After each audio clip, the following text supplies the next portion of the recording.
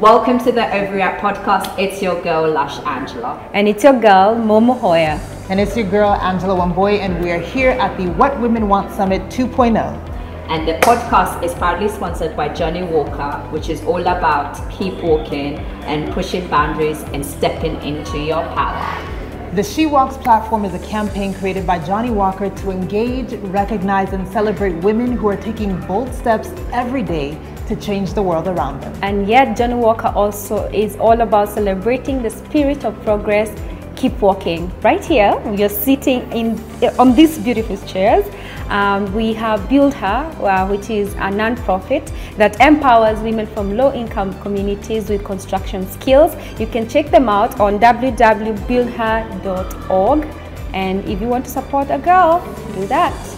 Fantastic. And we're so excited because we're going to have various conversations with amazing women who've been attending the What Women Annual Summit, which ends today, sadly, but it's been great. So, ladies, let's overreact. My name is Tracy Wanjiru. I am a mom. I am a media personality. I am a fabulous woman.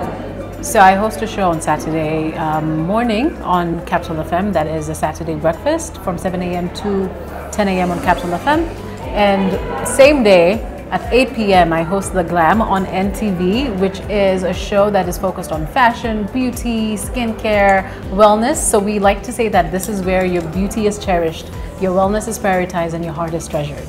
Because we love to focus on all of that, right? So I'd say mom first because honestly, nothing beats mom. Like before anything, before any job title, before I take my mother role very seriously. So yeah. Amazing. Uh, you say that's where you created a platform where hearts are. So yes, your heart is treasured. Is, yeah. yeah. So um, mothers are naturals, right? And you said you take motherhood very seriously. Uh, so definitely you are at uh, What Women Want Summit. For any mother listening to you, what do mothers really want? What do you want for mothers as Tracy and other mothers out there? What I've come to realize is that not all moms want the same thing. You know, people are moms are very different. You know, there's someone who's like who's going to start by saying, I am a media personality and then I'm also a mom. You know, people are very different. So I think even the same thing, moms are also different. Moms want different things. There are moms who want freedom. But for me, um, as a mom, I want to be able to find myself in my truth and in my peace in that way I'm able to nurture my little one, little ones to come.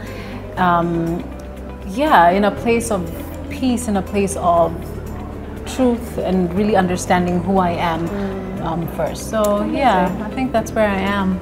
I mean, I'm still figuring out this mother thing because every day is like something new. Like today, honestly, I didn't even want to be here because my little one wasn't feeling well. And yeah, um, but yeah, she's okay. So I, I came. That's the beauty. There's something I, I, I saw somewhere the other day. Uh, you know, showing up is a gift to yourself and to your future. Yeah. So you decided to show up yes. for millions of women who are here and who are listening to you. Yeah. So thank you for showing up. Thank you. Yeah. Thank you guys for having me.